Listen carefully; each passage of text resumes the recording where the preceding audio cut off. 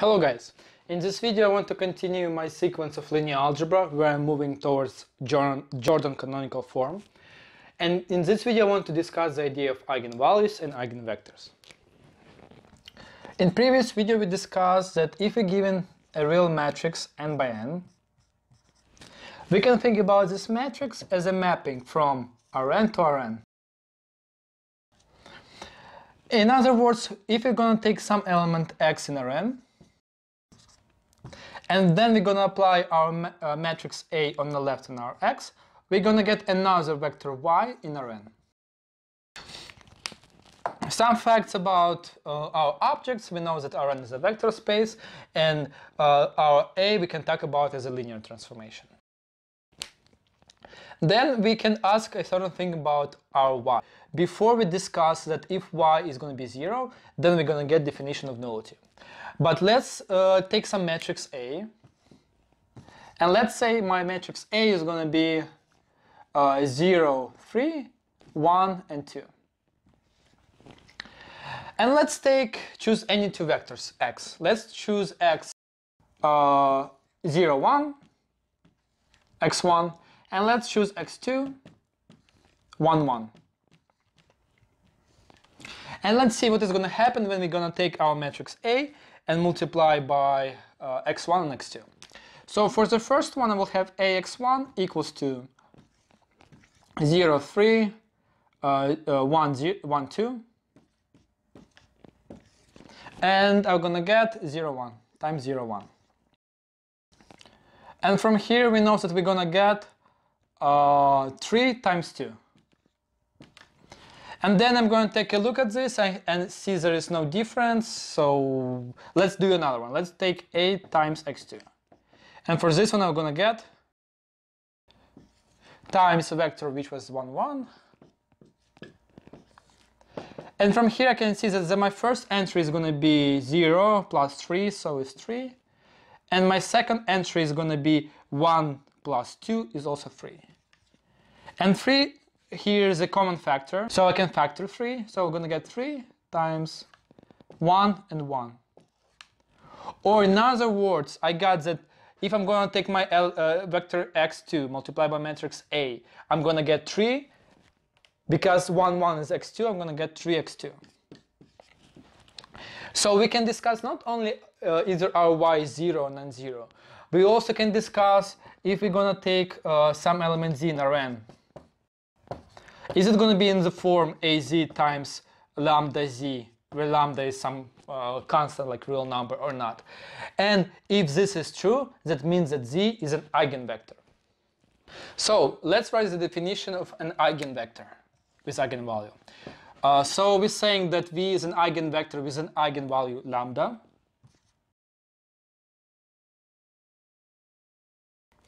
If for ah, is eigenvector with eigenvalue lambda uh, for matrix A. Why? Because we need to say to which matrix this is uh, eigenvector and eigenvalue correspond. And then we're saying this is if A times V is equals lambda V. One small thing that I wanted to prove and discuss, I want to show if I'm going to give you uh, a matrix A, how you can find all possible eigenvalues and corresponding eigenvectors of this matrix A. So let's discuss this in the following form. Let's take this equation and move lambda v to the left hand side. And then let's rewrite lambda v, since I know that if I'm going to identity matrix times v, I'm going to get v. Then I can rewrite this as a v minus lambda IV. And then here I'm going to factor V on the right hand side. So I'm going to get uh, A minus lambda IV. And what we know about this, when I move this to the left hand side, on the right hand side I got 0. So the whole thing is equals to 0. Let's take a look, take a look at this for a second. And what, what is our vector v? We get some matrix times our vector v and we get 0. And this is exactly the definition of nullity. So we're saying that v belongs to nullity of a minus lambda i. Here's one thing. What do you think? v equals uh, to 0 is eigenvector or not? And my answer is no. Why? Because for each eigenvector we're going to see in a second, there is going to be corresponding only one eigenvalue. But if we assume that v is an eigenvector, then we're going to have a times 0 equals to 0. But since uh, 0 equals to const, uh, 0 times some uh, any constant, then I can see that for this eigenvector, I can choose any eigenvalue. And this is going to be a contradiction.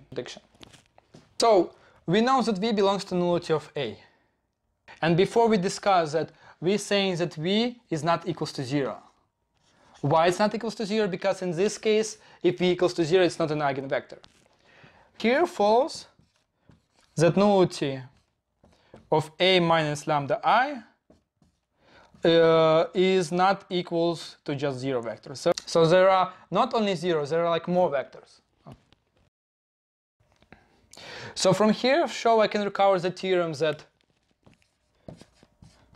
if nullity of some matrix B equals to just zero matrix, if and only if B is invertible.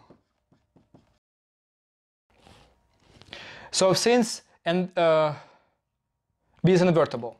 So from here follows, since our nullity is not zero, then B is not invertible. So from here I will get that our matrix A minus lambda I is not invertible. So from here follows, and I'm going to prove this in my next video, the determinant of, of I minus lambda I equals to zero. And this is our desired formula for finding all eigenvalues. So if lambda is an eigenvalue for A, I know that a corresponding matrix A minus lambda I uh, is going to be, its determinant is going to be equals to zero. So in other words, our nullity is not going to be a zero vector. So we are done with our first step. We know that we can find all eigenvalues by just applying this formula and looking for which lambda this determinant is going to be equals to zero. So what we should we do if we want to find uh, all possible eigenvectors for corresponding eigenvalue lambda? So how are we going to find our eigenvectors? We're going to follow the following procedure. So we're going to take this equation again, and I'm now again I'm going to rewrite this as we did before. So it's going to be a minus i uh, lambda v equals to zero. And from here I know that V belongs to nullity of A minus lambda I. But since V belongs to nullity of A minus lambda I, and we proved in another video, in previous videos, that nullity is a, a subspace of Rn, then from here follows that there is exist a basis for nullity of A minus lambda I.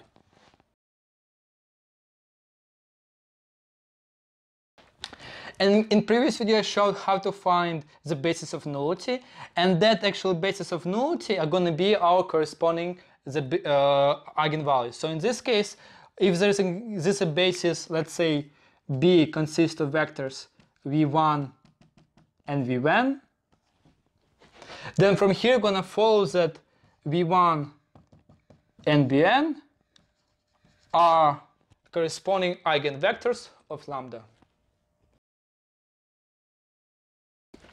So we can see that for corresponding lambda we can have more than one eigenvector. Okay guys, thank you for watching. If you have any questions, just let me know. If you like this video, please uh, like me and subscribe. And uh,